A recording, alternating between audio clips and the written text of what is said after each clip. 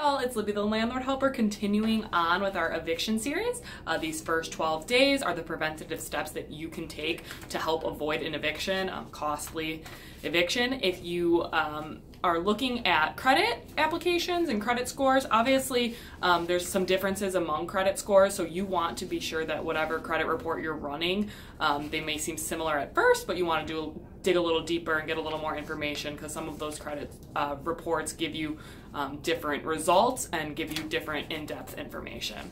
If you have any other questions or you'd like any other tips, you can contact us via email, info at securepay1.com, or you can give us a call, 847-801-9006. Be sure to like us on Facebook, subscribe to our YouTube channel, check out our Libby U courses, and check out our new book.